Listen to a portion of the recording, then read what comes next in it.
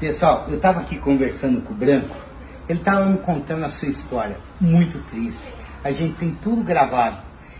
E eu falei para ele, Branco, isso é passado. Agora a gente vai arrumar um lar, uma família legal para você. Você vai passar o Natal ganhando presentinho de Papai Noel. Esquece isso, Branco.